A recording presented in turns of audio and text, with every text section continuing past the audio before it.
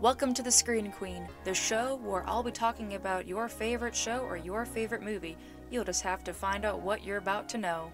This is your Screen Queen, your host, Samantha Parrish. Hello there, and welcome back to the show. This is your host, your lean, mean, movie talking machine, Samantha Parrish. For the final episode of the Valentine series, we're going to be covering a absolutely significant historical movie that I am very proud to talk about on the show. This might be the most important episode on the Screen Queen. With movies and TV shows being the bread and butter of my life and my interest, biography movies is like that movie meat that just puts that whole entire show sandwich together for me. I absolutely love biography movies and getting to learn what really happened, what did it take, who was involved, and there's a lot of interesting history behind how this historical movie was made. This is one of the most culturally significant movies, and honestly, I gotta be frank, we're never gonna get another biography movie the way that we have Loving. There is a lot to talk about with the history about this famous love story. So let's end the Valentine's Day series with the greatest love story of all time. This is Loving. So let's start off by talking about the cast because this thing had me absolutely bamboozled and befuddled for the fact that this extremely sweet love story has a cast that has usually played anti heroes or villains. The thing that enticed me to watch the film from the get go was the female lead that played Mildred Loving. Ruth Negga is an actress that I mostly associate with the comic book world and the action world. My first introduction to this actress was on the show Preacher, that's how I knew about her. And then uh, when I saw the trailer come out for Loving, I'm like, oh my gosh, it's Tulip from Preacher. What what's she doing here? And then immediately recognizing her with Joel Edgerton, it just like blew my mind to see two people that I would never think be in this movie together. So this like just totally caught me off guard to see the woman that sticks a corn on the cob into someone's mouth and stomps on it and bites someone's ear off, and she's playing the most sweet, tender, uh, headstrong woman in our history. And god damn it if she didn't blow it out of the fucking park. My god, she did a fantastic job. And it just still shocked me to see the equal counterpart with um, Joel Edgerton playing Richard Loving and I've mostly known this man for playing bad guys. This was the dude that played um the what's his name? Tom in The Great Gatsby. And I'm like, what are you doing here in my in this biotopic? And I'm not really a huge Joel Edgerton fan. He's there. It's kind of the best way I would put it.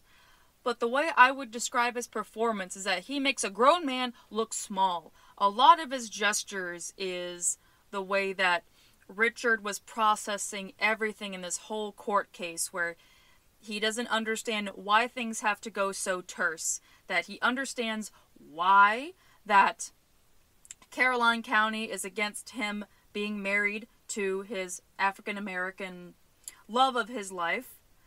But there are some things that don't have to go extreme. He wants things just very chill, very calm. He doesn't want to cause any trouble. He just he's willing to do whatever it takes, just as long as that doesn't uh, counter with him uh, being with his wife and raising his three children.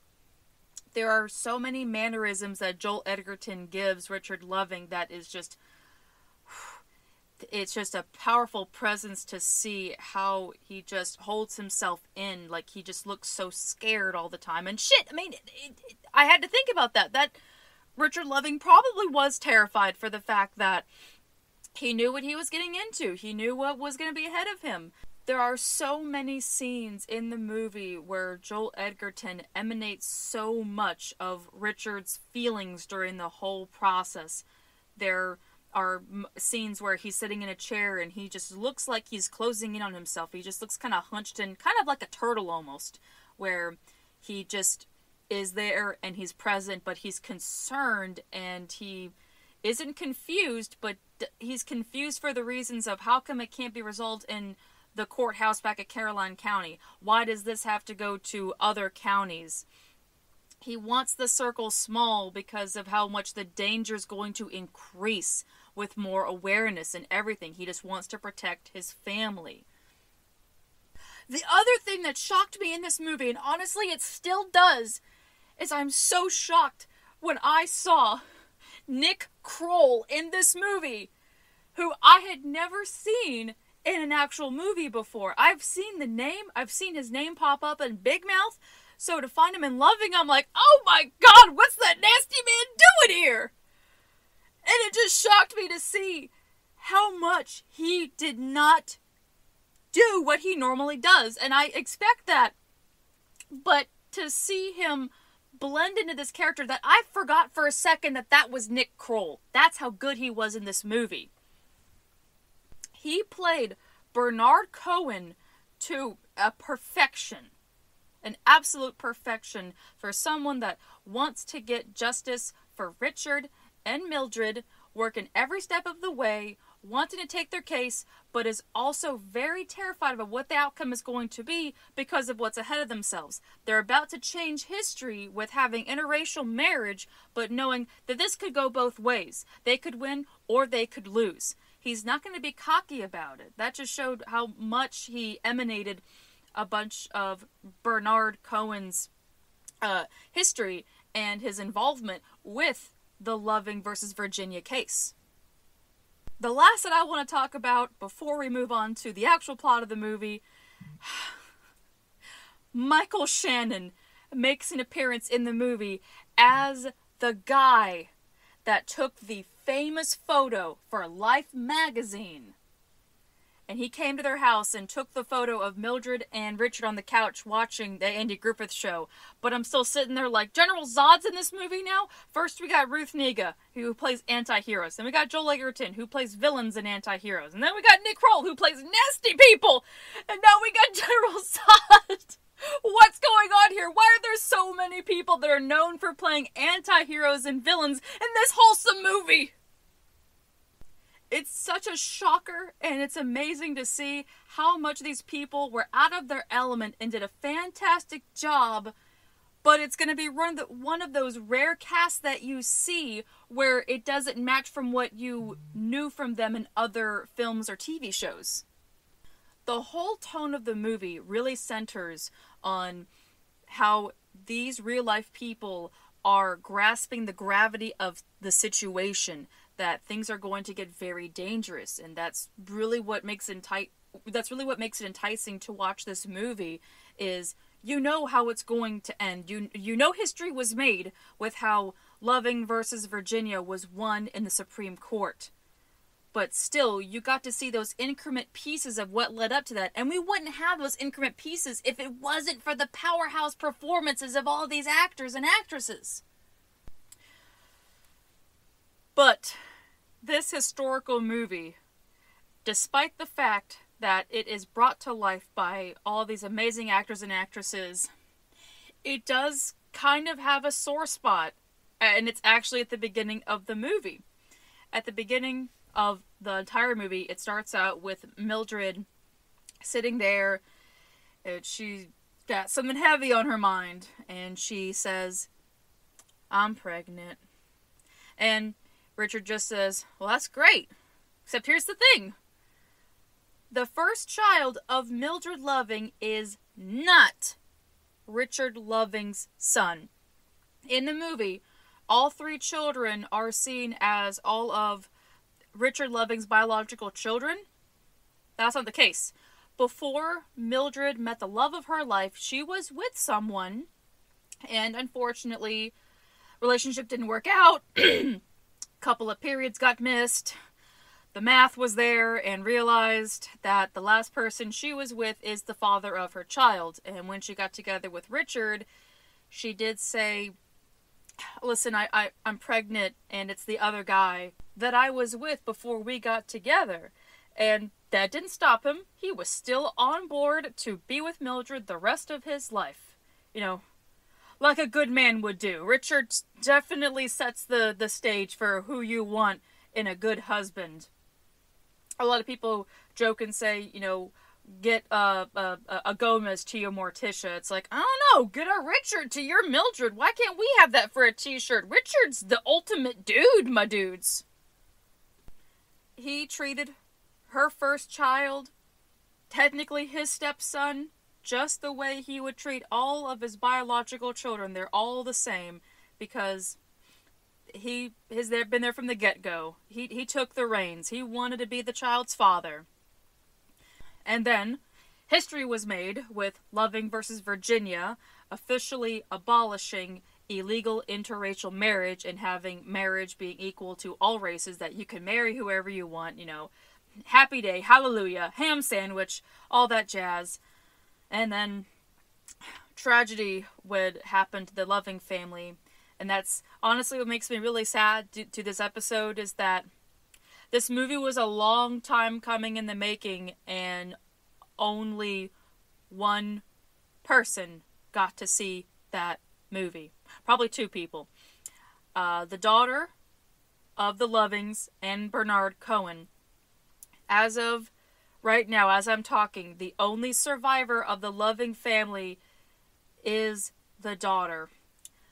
Richard and Mildred's sons have both passed away. One died in 2000, and another one died in 2010 after uh, Mildred Loving's passing in 2008.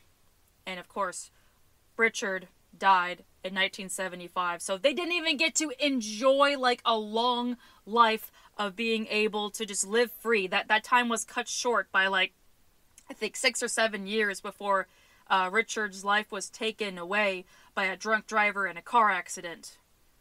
But still, to see the fact that his story, despite his short life, has a long span to show the future generations what he did and what he went through. And it's amazing to see that in this movie. After I watched this movie, I got to go through Caroline County myself I was on a little mini road trip to go meet one of my gal pals for a one day lunch date. And as soon as I saw the sign, you are now entering Caroline County, I just thought, oh my god, I am literally driving through history. Where the fuck are the signs? This is the home of Richard and Mildred Loving. I- am still kind of shocked as much as that film is based off of the case that changed history forever didn't have more recognition. What the fuck? Why does Bill Clinton get to have a, you know, home of the president and we don't get to have home of the two people that changed history forever? I want that. I'm going to petition for that. I'm in Virginia. I maybe I can make that happen. I don't know. I'll see what power I have. Maybe this episode will will, will get it going. I don't know. Um but as I was passing through Caroline County and I was thinking about the fact that this was where Richard and Mildred had their entire lives together, where they met, where they wanted to be, and where Richard is buried, and where Mildred got to live out the rest of her days in the fucking house that he built for her. She was still there until the day she died. And all that was going through my head, just passing through Caroline County. And it was a nice long drive through Caroline County to know that this was where history was made that these two went through so much shit just to be together. And they were in a place that rejected them. And you know what the really fucking awful irony is? Virginia has a tagline. I'm sure many people have seen it. It's on magnets, it's on uh, bumper stickers, it's on car decals, where it says, Virginia is for lovers. It's like, nope, not in this case. Loving versus Virginia would have been like, hold my beer and know what we went through to get here to finally say Virginia is for lovers. Now, while I was doing my homework for this movie, I was surprised to find out that this was not the first time that the Richard and Mildred uh, loving story was depicted on the big screen. It's the first successful one with faithful adaptations ish. I mean, there was that one something, but other than that, it's good as gold. However, the first one that came out back in the 1990s, I want to say was like 96, I want to say. Uh, when that one came out, it was not well received. They they didn't do a very good job with it. Even Mildred Loving herself said that the movie did not depict her relationship with Richard or got any of it right. I mean, what does it ever do, unfortunately? That's kind of the unfortunate norm that biography movies will not uphold their genre category. But if she were alive, she would be very pleased with how the movie came out and how everything truly felt honorable that they weren't going for just trying to recreate history they wanted to honor history of the two most important individuals that changed our systems to make it that it's not illegal to love someone of a different race. Okay, while I was recording this episode, I was on the hunt to find this piece of information that I didn't quite remember the details about with one of the first uh, films that was made about it. There was Mr. and Mrs. Loving, came out in 1996, so I was in the ballpark range of the 90s. And it starred uh, Lela uh, Rakron. I, d- I hope I did not butcher her name. And Timothy Hutton and the amazing and w- and very missed Ruby Dee. And says here, according to Mildred Loving, not much of it was very true. The only part of it right was that I had three children. That's pretty damn bad. That that's the only thing that Mildred could confirm they got right. I don't want to watch that one knowing that they butchered one of like the greatest love stories, greatest true love stories, I should say.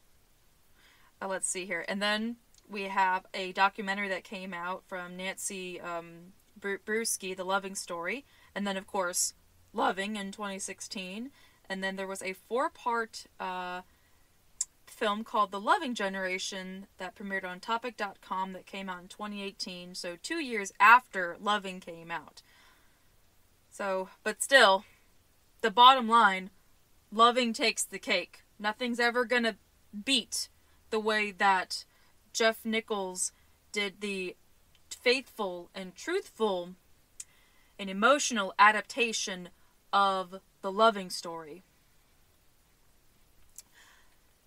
But no matter how many times I've watched this movie and have enjoyed seeing the way that these two loved each other being depicted by Ruth Negga and Joel Edgerton the ending of the film always gets to me with the final lines of the movie that talked about what happened after uh, they won the Supreme Court case.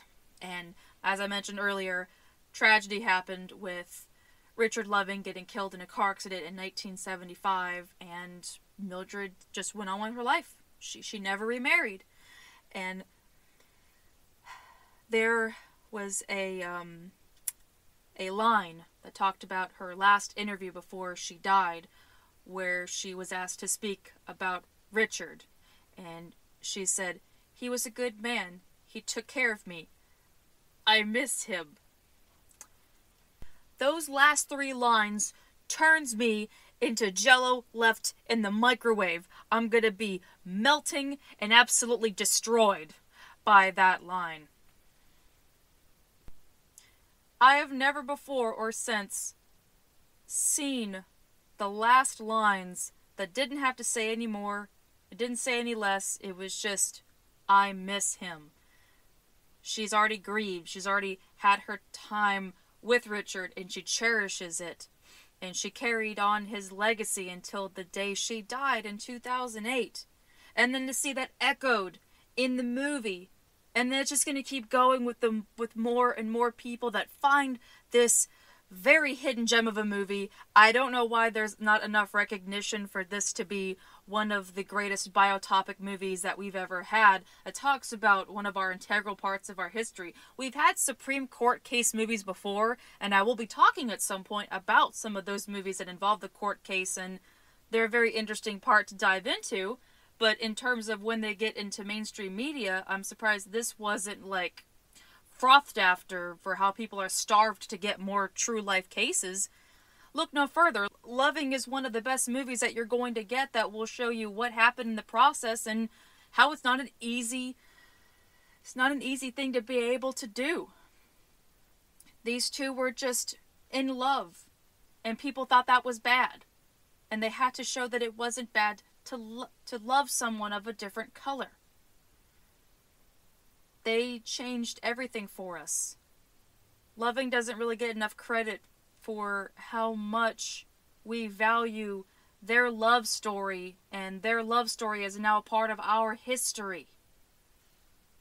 I remember in my history class when I first heard about the Lovings, and my teacher was telling us about how they were arrested for being in love and how they were the first interracial couple to uh, take the helm and abolish uh, getting rid of illegal interracial marriage. And he had to enunciate he's like don't you just love the fact that their last name is loving like it was meant to be? And i never forgot about that when he said that in class. To close out this episode i gotta give credit where credit's due this movie did an amazing job and it's one of the most perfect movies i've ever seen and i mean that in the sense of something that did not give us any less, it didn't give us any more. There are so many biotopics that will throw so much in there that it loses track of the soul history of the story, but it didn't. The director of the movie gave us one of the most beautiful, honorable, and tragic love stories in our history and we got to see that part of the 1960s echoed for years and years and years, and it's always been mentioned about what Mildred and Richard did, all because they loved each other and they wanted to be able to provide a wonderful life for their children. They had so much courage and fear and love. You know, it's in it's in their damn name after all, you know we see all of these movies about what makes love. What do you do for someone that you love? There's even a movie called, you know, What's Love Got to Do with It? But this, this right here, this movie, this is what love is all about. This is what it comes down to. This is what you need from someone. This is what love is supposed to look like, is between these two. They set the bar, they set the record, and they set it for history. And we all got to see that. Now, this officially ends the Valentine series. So, I have to be honest, I um I was a little bit nervous going into this series. I say that for a majority of my episodes and yet like it doesn't hold up and it ends up coming out better than what I originally thought. But me and Valentine's does not have a very good history together and I wanted to do this series to just go ahead and get some of the romance movies off of my list that I've been meaning to talk about for quite some time on the show. But I think I got to count my blessings for the fact that I got to do three movies that are near and dear to my heart and having to talk about these movies that got me through which is usually and these three movies got me through a very rough month for me.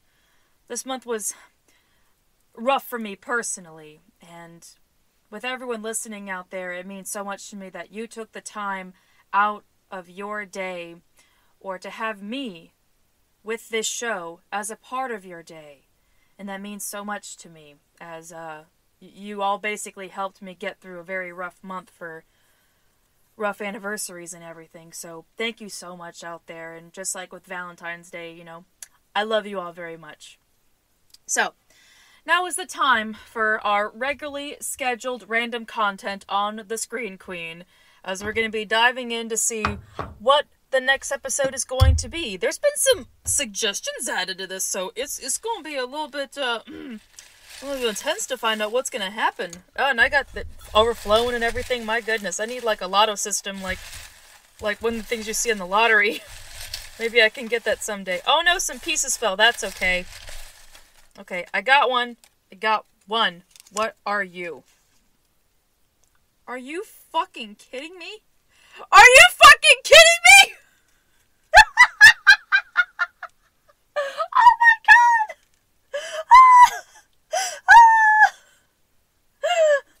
okay, well, you know, I did put out into the universe accidentally that I thought the other day, oh, well, you know, it's been a while since I talked about a TV show on here, and what do I get?